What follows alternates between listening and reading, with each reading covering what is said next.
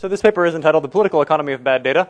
Uh, we're shifting focus from GDP statistics mostly to the social sectors. I'm going to talk primarily about uh, educational enrollment statistics and health and specifically immunization rates. Um, and before I get to the grand kind of motivation and pitch, what I'm actually going to present to you today is something very simple, which is lining up household survey data sources with administrative statistics, uh, looking where they disagree, and looking whether we can learn anything from the patterns of those disagreements. What do we learn uh, about the determinants of bad data from the discrepancies between household survey data sets and administrative data sets? Um, the kind of big motivation policy pitch, if you want one, uh, you will all have heard that the UN high level panel for the new MDGs and the post 2015 agenda has come out with a call for a data revolution.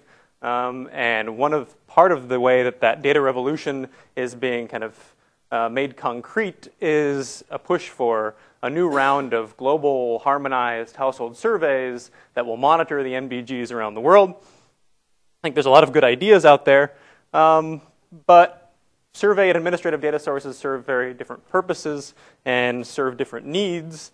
Uh, and we want to understand why they disagree before we assume that more survey data is, is going to be the answer. All right, um, so our framework here, um, a little bit cheeky, but we start off by explaining the data demands of international aid donors uh, versus the data needs of an African state, and I'm going to be using samples of African countries here.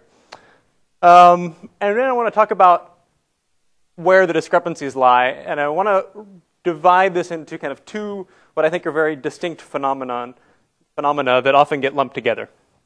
The first half is going to be about getting fooled by the state. Uh, and I think this is what we tend to think of when we think about bad statistics, that somehow the government is misleading us, uh, that national statistics offices are lying about the results, or through some lack of technical capacity have screwed up the results and are foisting bad numbers on us. Uh, and I think there are cases where we can make a case for this, and I'll point to immunization statistics uh, and cases of consumer price inflation, but I think there's a second phenomenon here that we need to pay attention to, which is kind of the state itself being fooled. Um, and we need to question the assumption that African states have the ability to, to get reliable statistics on the questions they themselves want to answer. Uh, and so I want to point to cases, a case study from Tanzanian agriculture uh, about to what extent can the Ministry of Agriculture and the National Bureau of Statistics actually get a gri grip on what maize output is, uh, and why there might be incentives at the lowest level to misreport up the chain uh, from agricultural extension workers in the field. And then more systematically with kind of a cross-country analysis and school enrollment, um, as we move from, you know, thankfully, the abolition of user fees um, to a top-down funding system, what that does to the incentives for truthful reporting of statistics on school enrollment. All right. Okay. So, very stylized um, seeing like a donor. This a series of papers back from kind of the twilight of the uh, popularity of conditionality in, in aid programs. Svensson in 2003, Azam and Laffont in the Journal of Development Economics in 2003 kind of present aid conditionality in a principal agent framework. And this is a simple moral hazard principal agent model. The donor P offers the recipient country government A a contract to help the poor, but they can't observe the policy effort. Um, so we end up with this, this moral hazard problem. What does this kind of seeing like a donor principal agent view of the aid relationship demand in terms of data? Well, we need independent verification of results. Clearly, you can't just rely on the agent's self report of how things are going, you need independent verification. And so, you know, people who are still kind of pitching this um, contractual model of doing aid, my boss in Washington, Nancy Birdsall, is advocating paying for results in aid, and if you're paying for results, you're going to need really reliable independent verification uh, of what's happening on the ground. So maybe more household survey data, uh, an expanded DHS survey maybe. Um, and that means more high quality, harmonized household survey data on poverty, child mortality, learning, all the things that we want to measure under our Millennium Development Goals. If we look at things from the state side, though, um, the state's task is very different. You know, this is kind of drawing on another kind of parallel long tradition in the analysis of, uh, of African uh, political economy, from Herbst to Van de Walle and Besley and Persson. I'm not going to go deeply into these papers, but I think all of these analyses would suggest that, or question whether it's reasonable to assume that African states, even if we have some incentive contract for results, can necessarily implement the desired reforms and can necessarily even get the data that they need to implement those reforms. The data policy implications, what does an African state need? What does a Ministry of Education need to run a school system? What does a Ministry of Health need to run an immunization campaign? Well, they need administrative data linked to lower units of political accountability. They need district level, they need clinic level data on what's happening in terms of immunization in order to make the program go. And there they run into huge problems of incentive compatibility about getting head teachers to tell them what's going on truthfully and clinics to report accurate information. So, two very different kind of data problems here. Uh, a kind of caricature version of this. Uh, if we see Seeing Like a Donor, you can you know, look up cross-country databases and look, this is primary net enrollment. I've lost the legend here somehow. Uh, but darker blue is higher net enrollment rates. You can compare net enrollment rates around the world. Um, and this is very handy for me sitting in Washington if I want to run a cross-country regression or if I'm, if I'm you know, working, uh, my wife works at the World Bank. If she wants to make allocation decisions, she doesn't work in Africa, but between two countries, you've got comparable data for, for neighboring countries. How is Tanzania faring compared to Uganda? This is very useful. But if the Kenyan government wants to manage its primary education system, it's going to need enrollment data at a much higher level of disaggregation. And this is what the Ministry of Education in Kenya actually uses, which is school level data, which is collected through an administrative data system on a quarterly basis uh, for all 20,000 primary schools in the country.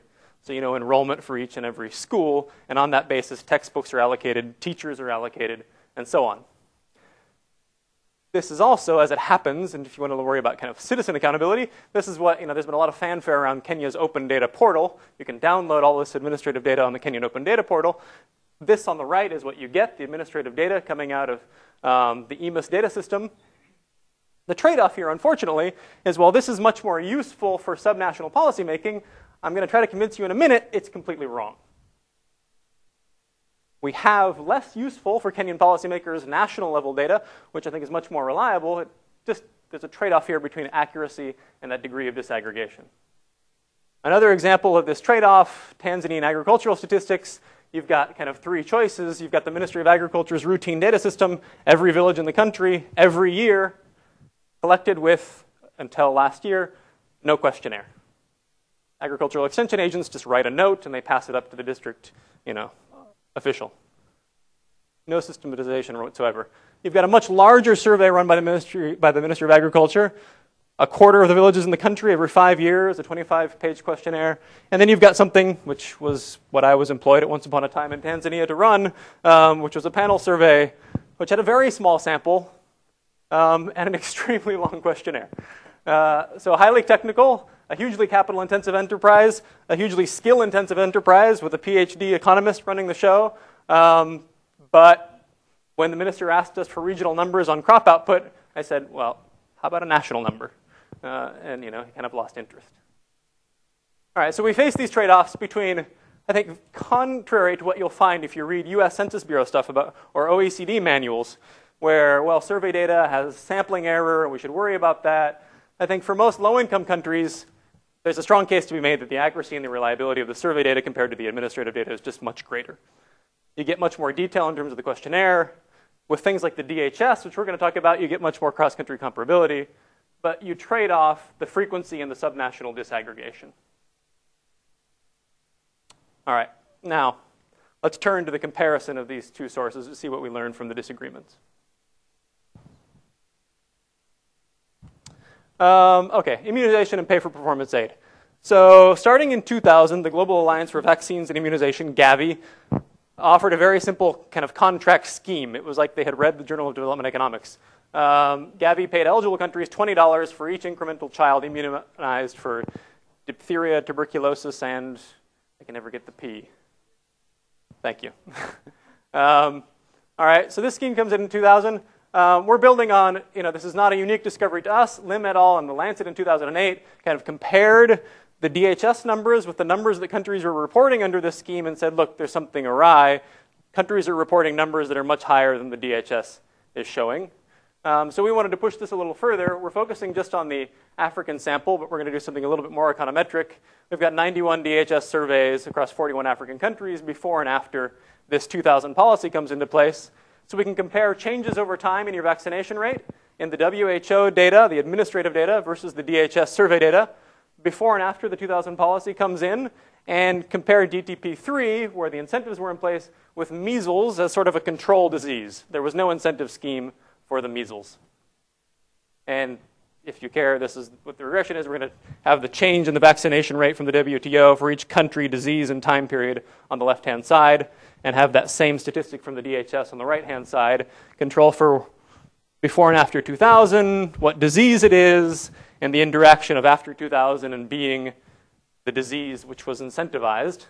Uh, in pictorial form, this is the ratio of WHO to DHS uh, vaccination coverage. So if you're above one, that means your administrative data shows something higher than your survey data. And they're kind of centered around one for measles, which has not been incentivized. And in 2000, the line kind of carries on more or less flat. There's a lot of variance there. There's still a lot of there's still a lot of discrepancies, but we don't see any really systematic pattern in them. When we get to the DTP3 vaccination rates, we see something a bit different. The picture, it's not the most dramatic thing, partially because Nigeria is pulling my axis way up. Nigeria has problems completely unrelated to this scheme. Uh, but we see a, a statistically significant uh, evidence of a structural break here, where the shift towards exaggerating your administrative data increases after the 2000 program comes in. If we do this in a regression framework, single differences, DTP3 immunization up 13% after 2000. That increase was 4.6% faster in the admin data than the survey data. That increase in the discrepancy was 2.3% larger in DTP3 than measles, and quadruple differences moving from levels to changes over time. The jump in DTP3 discrepancy was 4.5% faster per annum than in measles. Something went awry specific to measles after 2000. All right, consumer price inflation.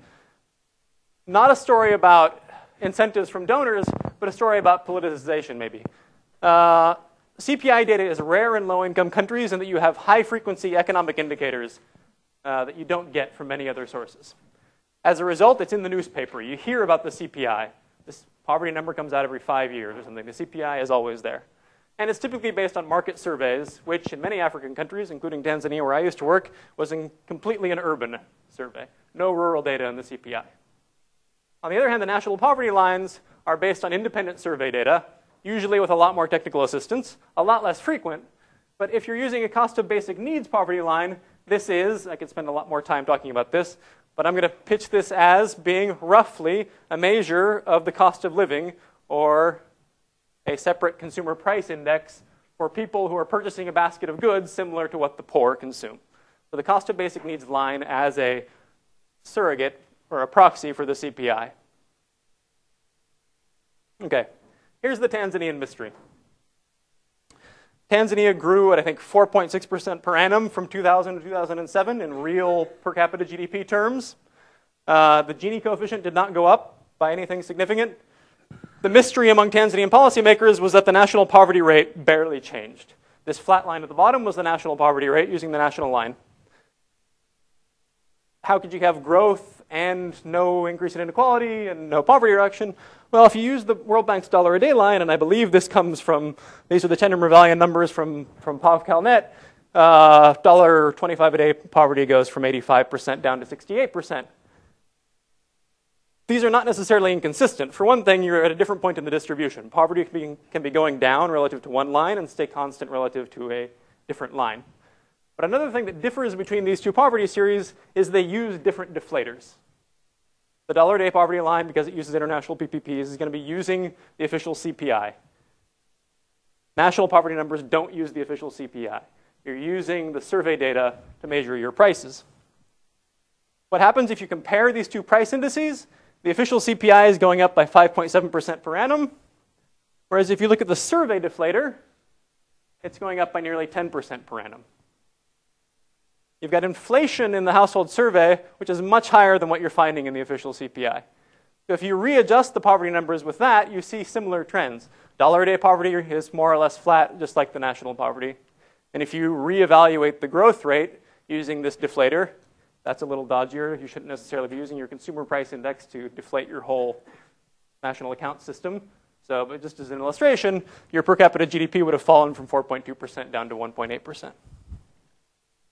Not an issue of donor incentives, but of a highly politicized economic indicator. Lastly, let me.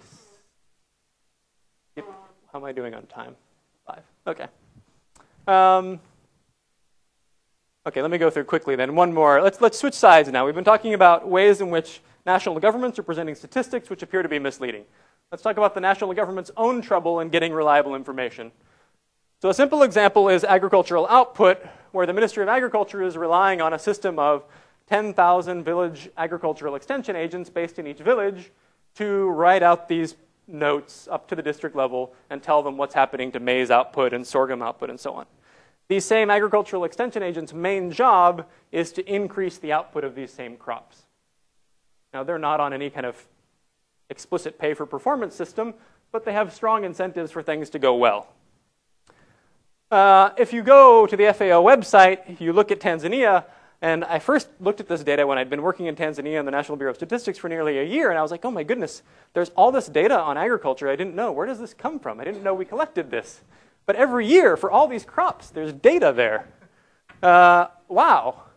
And so then all I want you to take away is not the trends, just the maize, paddy, cassava, sorghum. Every year, you've got a number. How many metric tons did Tanzania produce?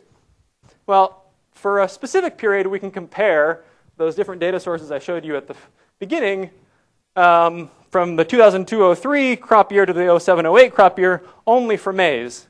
The FAO numbers show 9% per annum growth. The National Panel Survey, go with lots of technical assistance and a detailed household survey, shows 6% per annum growth.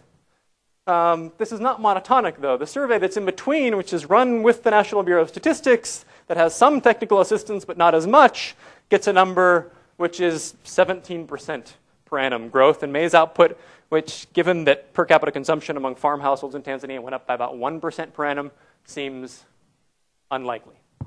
Um, this is not, I can assure you, the case of the National Bureau of Statistics not wanting to know the answer. They want to know the answer. The Ministry of Agriculture wants to know the answer. Is that the agricultural extension agents who actually collect both this data set and this data set don't necessarily have the right incentives. More systematically, school enrollment, going very quickly. This is our sample of, I think we've got about 21 countries. Changes in school enrollment from administrative data sets versus the DHS again. And in different countries in different years, we'll have abolished user fees. Why do I think the abolition of user fees matters? Well, before user fees, people come to school and they pay you. After you get rid of user fees, I fill out a form and report to the Ministry of Education how many students I have, and I get a capitation grant in many countries based on how many, what my enrollment is. The incentives to exaggerate enrollment just got a lot stronger. So if you look at Kenya, user fees abolished in 2003. This is the administrative data set about net primary enrollment in Kenya. These are the survey data sets. Comparing to the Kenya Integrated Household Budget Survey and the Welfare Monitoring Survey, spanning the abolition of fees, zero change in net primary enrollment. Looking at the two DHSs, zero change in net primary enrollment. So the administrative data continues to climb, climb, climb, and the survey data sets are flat. Rwanda, it's not quite as dramatic. Also in 2003, fees are abolished. You get kind of a turn there in the survey data that you don't really see in the administrative data, but not quite as dramatic. Bottom line, we can run the same kinds of regressions I showed you before. Um, my sample's small. I've got 46 surveys, 21 countries. Um, but the point is that the acceleration in enrollment was about 10% faster in the administrative data than it was in the DHS survey data after the abolition of user fees. This is not a case that we need to go back to user fees. This is simply saying that our data systems need to adjust to the new incentives and realities of a new financing system for education. All right, uh, I don't have a big summary conclusion, um, but just one possible takeaway. Uh, I mentioned the post-2015 agenda at the beginning. There's an emphasis on you know, new survey-based global monitoring system, but I think this system is also going to need a, a complementary system of incentive-compatible administrative data systems. Otherwise, we can monitor internationally what's going on, but but the Tanzanian Ministry of Agriculture or the Kenyan Ministry of Education can't do much about it if they don't know what schools are doing what. How could this work? One small idea. Our surveys maybe need to be designed more deliberately to cross-validate the administrative data systems. I'm doing this at the national level, but you could be cross-validating at a much lower level, at the school level or the district level. Um, bigger disaggregated samples linked to facility surveys as well would be just one idea of many. All right, thanks.